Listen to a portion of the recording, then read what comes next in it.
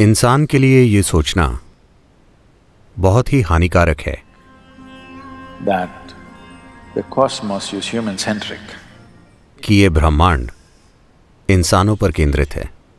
इस हानिकारक प्रकृति से ही उन्होंने ये एक गलती की। आपको बताने की कि भगवान ने तुम्हें अपना प्रतिरूप बनाया। है इतने इंसानों को हर चीज़ के लिए बहुत मूर्ख और बेहुदा बना दिया है। भगवान जिंगूर की तरह क्यों नहीं दिख सकते? मैं पूछ रहा हूँ। क्यों नहीं? नहीं, वो मेरी तरह दिखते हैं। देखिए।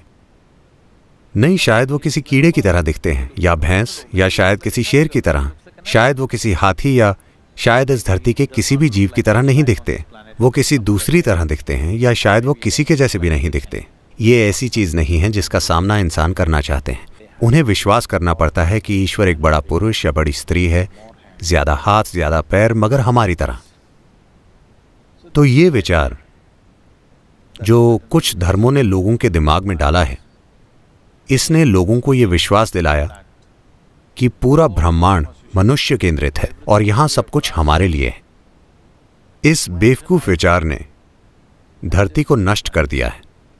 हर जीव, हमारे आधुनिक विज्ञान ने इसमें सहयोग किया है। आज विज्ञान की हमारी समझ, बस रिसर्च और रिसर्च है, वो सब किस लिए है? ये सब इस बारे में है कि हम किस तरह दुनिया की हर चीज़ का इस्तेमाल अपनी खुशहाली के लिए कर सकते हैं।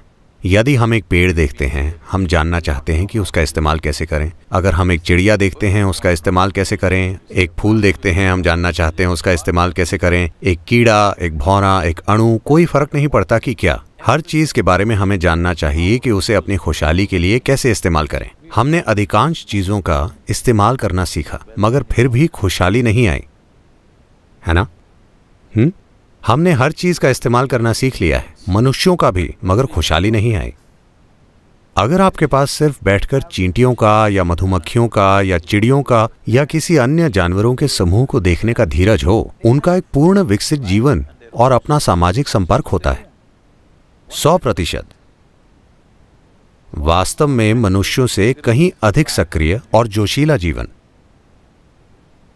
बस इतना है कि हमें लगता है कि ये सभी चीज़ें हैं।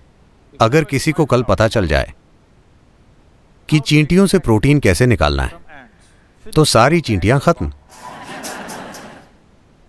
हमें लगता है कि यह विज्ञान है। ये पागलपन है। आप जानते हैं, ये सरासर पागलपन है। हर चीज़ की अपनी जगह है। अगर हम ये नहीं देखते तो हमारा दिमाग खराब हो गया है। तो क्या यह ब्रह्मांड मनुष्य केंद्रित है? क्या हम एकमात्र जीवन है? अभी अभी मैं गर्व कर रहा था कि मैं बहुत तार्किक हूँ। अगर मैं अपने अनुभवों के बारे में बात करूँ तो आपको लगेगा कि मैं पागल हो गया हूँ। तो मैं उसे छोड़ देता हूँ।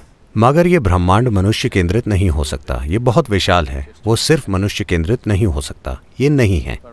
मेरे लिए ये एक जीवित अनुभव है कि ये ऐसा नहीं है। बस इतना है कि मैं बहुत तार्किक होने की अपनी प्रतिष्ठा खोना नहीं चाहता। उस कारण मैं कुछ चीज़ों के बारे में बात नहीं कर रहा।